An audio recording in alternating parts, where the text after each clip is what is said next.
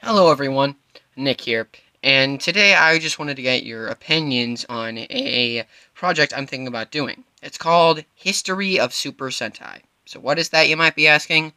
Well, I'm assume most of you are familiar with Linkara's History of Power Rangers. To those of you unfamiliar, that's where Lewis Lovhaug, aka Linkara, analyzes every single Power Ranger season ever made. And he currently stopped because he's done them all already.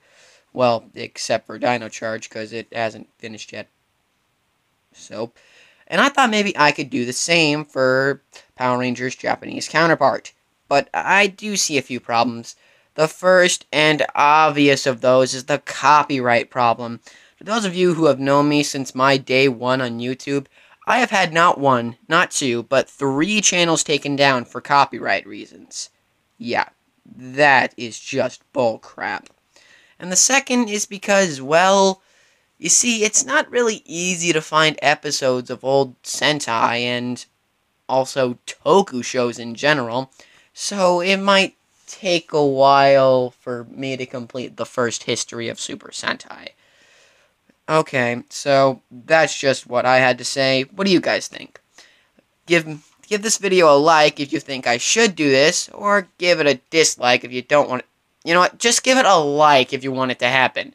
You don't even have to dislike it if you don't want it to happen. Man, now that I said dislike, a million people are going to dislike this video. Who am I kidding? And speaking of dislike, please stop hitting the dislike button. It's not like a choice to like or dislike every video you watch. And besides, it's not even fair that I put all this hard work and effort into making my videos and it gets a ton of dislikes. Well, at least I don't get as much dislikes as Jacob Sartorius. Yep. So, just let me know if you want History of Super Sentai to become a thing. And until next time, may the power protect you. Yeah, I haven't figured out an outro for these videos yet.